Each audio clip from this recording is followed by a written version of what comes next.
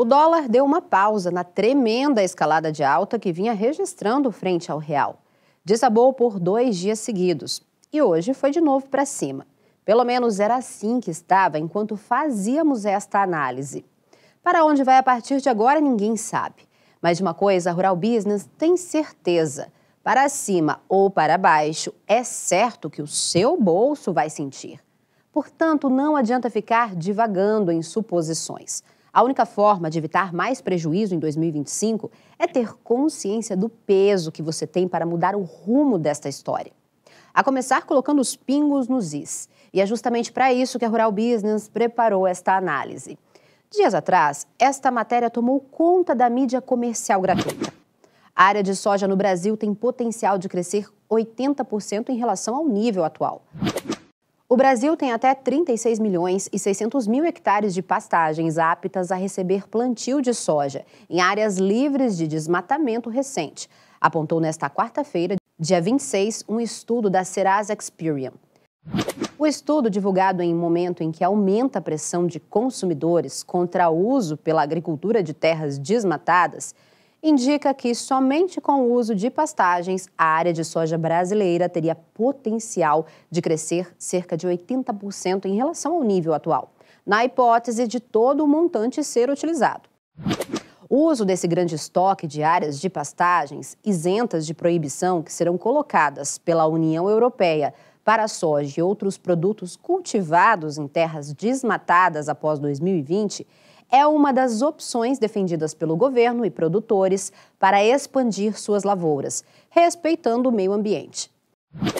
O Brasil, maior produtor e exportador global de soja, cultivou na última safra quase 46 milhões de hectares com a oleaginosa, segundo a última revisão da Companhia Nacional de Abastecimento. Claro, quando os produtores viram isso, arrepiaram.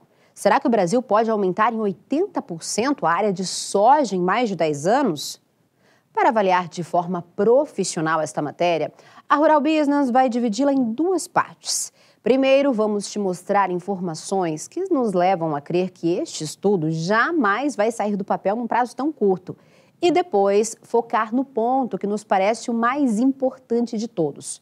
Na narrativa, cada dia mais presente na mídia comercial gratuita, de que a produção agrícola do Brasil precisa cumprir regras da União Europeia para sobreviver. Então vamos lá. A primeira coisa que a Rural Business quer que preste atenção é no seguinte: já parou para pensar por que sempre enaltecem potencial de aumento de produção, mas jamais revelam o potencial de aumento de demanda? É bom que saiba que o Departamento de Agricultura dos Estados Unidos, e o USDA na sigla em inglês, apresenta todos os anos um estudo com projeções de longo prazo para a agricultura mundial.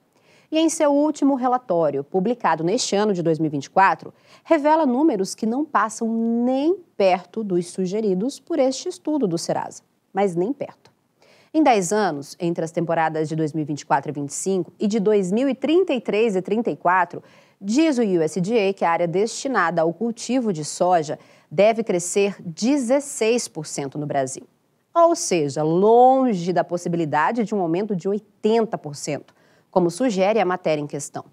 Já a produção, segundo o USDA, terá chance de aumentar bem mais, 26% ao longo da década.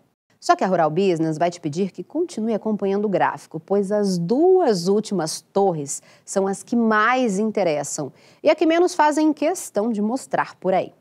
Veja que enquanto a produção de soja é prevista pelo Departamento de Agricultura dos Estados Unidos dar um salto de 26% ao longo da próxima década, o consumo dentro do Brasil é esperado crescer em 28%. E mais, as exportações podem chegar ainda mais longe, 32% de crescimento no mesmo intervalo, contra 26% para a produção. Resumindo, para a Rural Business, esta é uma matéria que pode até servir aos interesses do Serasa e de seus clientes. Mas para você que opera na ponta da produção, não interessa para muita coisa. O que o agronegócio do Brasil precisa ficar de olho é no segundo ponto que destacamos. Este mimimi de que a União Europeia pode comandar o jogo. Isso sim é problema. Importante lembrar que tem dinheiro pesado por trás dessa história, meu amigo.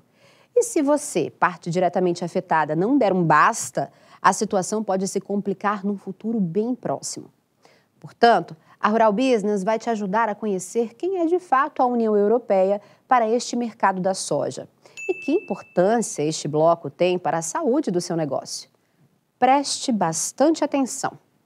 Quer ver esta análise de mercado na íntegra? Quer ver o amanhã do mercado da soja hoje?